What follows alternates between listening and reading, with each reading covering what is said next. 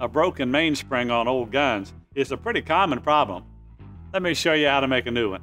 This is a Marlin Ballard number 2 sporting rifle in 32 long. It was made in the 1880s. The bore is nice and bright and it can still be shot with obsolete 32 rimfire ammunition if you can find it. Sometimes it misfires because the hammer doesn't hit the firing pin with enough force as the mainspring is weak. Another issue is the hammer won't hold in the half-cocked notch. This is where the phrase going off half-cocked came from, as pulling the trigger may cause the hammer to fall when the hammer is in the safety or half-cocked notch. I'll need to remove the breech block to take a look. It's held in by a single screw. Next, the extractor is removed and the breech block and lever are slid from the receiver. The breech block is constructed of two halves which are held together by several screws. After each screw is removed, I push it into a piece of cardboard to ensure it goes back in the same location it came from. With all the screws removed, I tap the halves apart. One interesting feature of the Marlin Ballard is the ability to switch the firing pin from rimfire to center fire. Although extremely rare today, 32 Ballard center fire ammunition was available when this gun was produced. With the breech block split apart, it's easy to see this mainspring isn't original to the gun. I've pulled a mainspring from another Ballard to show the difference. This mainspring design evolved from a V-type spring, as seen in this earlier gun. The firing pin also changed. Early Ballards were rimfire only, and the firing pin was an integral part of the hammer. One design remained fairly constant, the trigger return spring. The original mainspring isn't arched as much as the replacement, and the original has a round boss on the front to minimize friction where the tip of the spring contacts the hammer.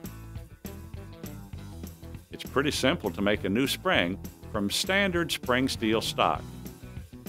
The stock comes annealed or soft and will need to be heat treated to make it into a spring.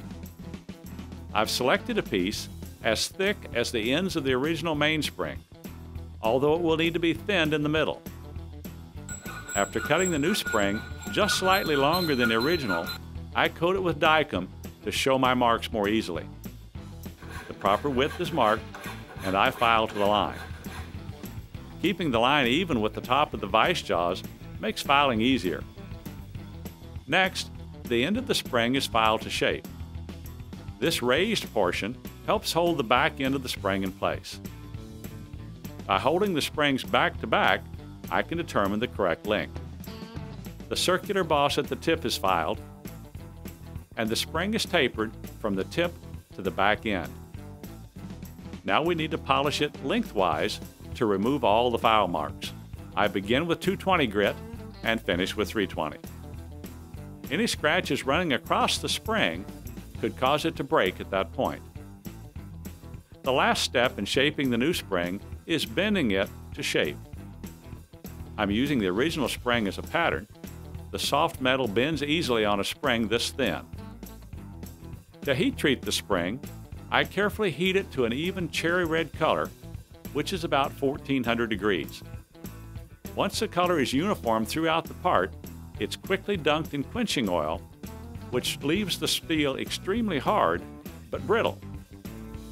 This is a scrap piece of spring stock that I also hardened. It's too hard for a file to cut. And with one end in the vise, it breaks without much effort. To remove this brittleness and turn the metal into a spring, it needs to be tempered, which is the second step of the heat treating process. Tempering removes most of the brittleness and allows the steel to flex. I polish the spring bright, then place it in a pot of melted niter bluing salts the pot temperature is about 600 degrees. Reheating the steel to this temperature removes most of the brittleness, and the niter bluing salts give the spring an attractive blue finish. Quenching the spring in water finishes the heat treating process, and now the steel has its spring. I install the spring back into the breech block, followed by the hammer and trigger.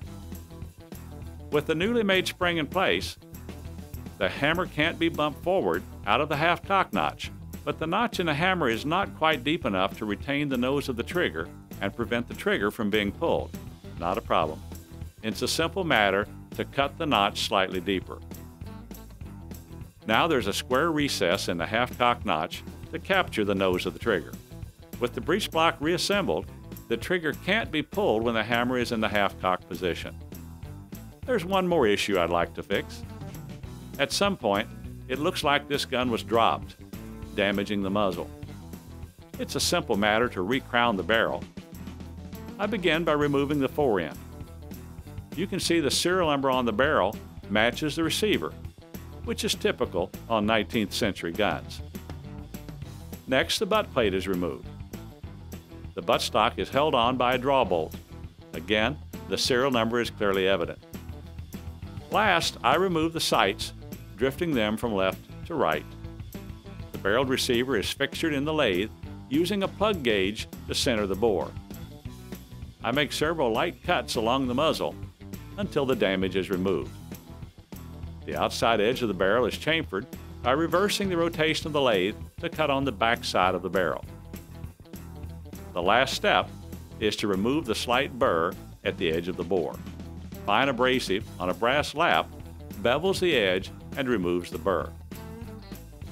The face of the muzzle could be brown to match the rest of the rifle, but I'm going to leave it bright for now. I reassemble the rifle and check the function one more time.